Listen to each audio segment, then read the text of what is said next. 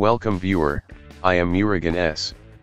This video tutorial describes, fix white screen on Windows laptop or computer monitor in Windows 11, 10. First method is press Ctrl, Alt, and Delete keys, click Power option, click Restart.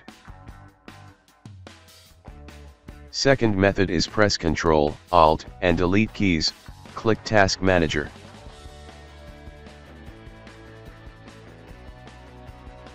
Click Run New Task. Click Run New Task, type dev.msc.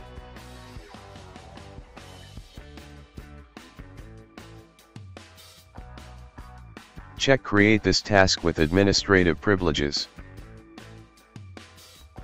Click and expand display adapters, right-click display adapter, click Update driver, click Search automatically for drivers.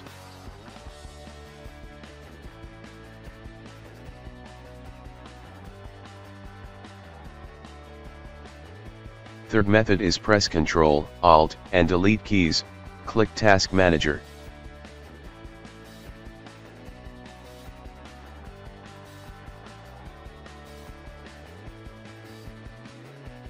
Type CMD, check create this task with administrative privileges.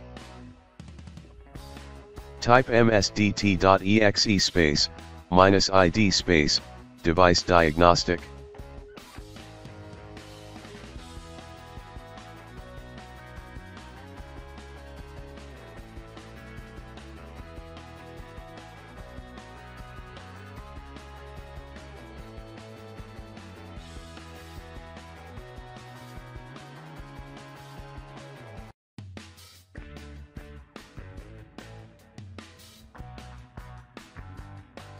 I hope this video tutorial helps to you, please like, share and don't forget to subscribe my channel, thank you very much, see you next video.